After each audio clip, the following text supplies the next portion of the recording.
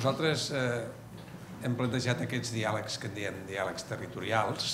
El plantegem, eh, diguem-ne, per sortir una mica d'aquest tipus d'actes que a vegades eh, fem, que són més estrictament eh, tècnics, per dir-ho així, no? i per eh, elevar una mica la discussió sobre algun aspecte, perquè sempre els plantegem aquesta, amb aquestes característiques, no? d'un responsable eh, governamental i eh, un acadèmic. No? Que la voluntat era posar en comú els delegats i, per tant, la pràctica del dia a dia de la política en l'administració pública amb uns experts de la universitat que tenen un coneixement i que poden, potser, eh, oferir alguna cosa a la pràctica eh, de l'administració pública.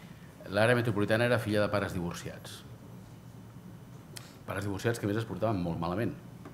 D'una banda, en termes operatius, les administracions, el govern de Catalunya i les administracions locals principals en aquest espai mm, bueno, no havien col·laborat tant eh, com segurament el país hagués necessitat.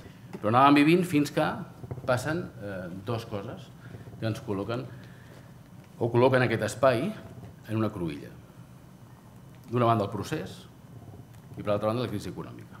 Bé, comencem per definir la necessitat de construir un relat nou per al públic intern i alhora reconstruir un relat o reconstruir el relat de Barcelona per al públic extern. Barcelona és un model d'èxit. Per tant, veiem que no cal recórrer sempre a la part, a una petita part de la ciutat o de l'àrea metropolitana per vendre la pròpia, la pròpia àrea, sinó que podem a vegades anar més enllà i generar diguem que, discursos a partir d'espais de, geogràfics més amples i desfer, o començar a desfer, si és possible, aquest gap històric que desvincula el món metropolità del seu govern i el situa estrictament en el món municipal, tot i que és necessària la col·laboració entre el món municipal i el govern de Catalunya ha de ser més tangible, més estratègica. La Gran Barcelona és una gran universitat. Els centres universitaris no es centren o no es localitzen només a la ciutat de Barcelona hauria de ser la gran universitat del sud d'Europa. Però la Universitat de Salamanca, conscient de que el pol d'atracció que implica Barcelona i la Gran Barcelona eh, té, eh, fa uns anys va obrir una delegació a la plaça Urquinaona. Alguna cosa no farem bé del tot quan altres aprofiten aquesta oportunitat. És a dir, aquí hi ha una, una reflexió sobre de quina manera podríem, per exemple, ser un pol d'atracció de, de, o de formació universitària a nivell internacional per després, insisteixo, aprofitar el feedback que aquests alumnes, que aquests estudiants podran, podran aportar als seus, als seus països. El model podria ser Califòrnia. Califòrnia o la Universitat de Califòrnia en realitat engloba, si no m'equivoco, set campus, però han internacionalitzat la marca Universitat de Califòrnia.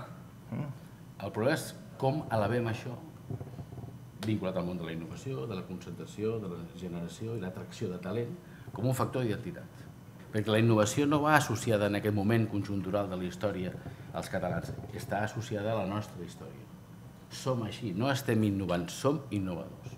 A mi el que em preocupa és que ens estem projectant molt al món i no sé si estem acabant de relligar un discurs en el nostre món. No podem desencaixar una metròpoli, per molt gran que sigui, molt de referència que sigui, del seu àmbit cultural, del seu àmbit social, del seu àmbit polític, del seu àmbit històric.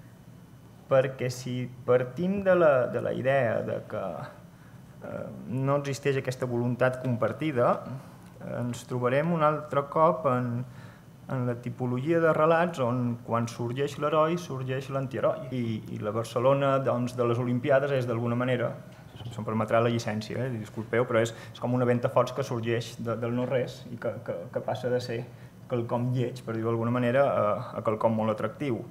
És la, el relat de la transformació, de la metamorfosi. La marca Barcelona és tan potent, és tan forta, és tan autònoma, va tan sola, que no necessita el conjunt del país. Jo crec que això és un error. Els municipis s'estan reinventant i estan començant a col·laborar, una col·laboració competitiva que al final jo crec que està elevant el grau diguem-ne de la gestió pública en aquest país, perquè amb menys estem fent molt més. Aquesta gran Barcelona al servei del país passa per la generació d'un imaginari conjunt? Si creem aquest gran consens, jo crec que ens haurem construït una mica més com a nació i Barcelona encara serà més forta i tindrà més funció per projectar-se al món i serà més rica. És possible que estiguem més desdibuixats cap aquí dintre que no pas cap a fora Precisament aquest, eh, aquest, eh, aquesta proposta busca redefinir-nos dintre. La idea és que no parli Barcelona, sinó que parli l'àrea metropolitana.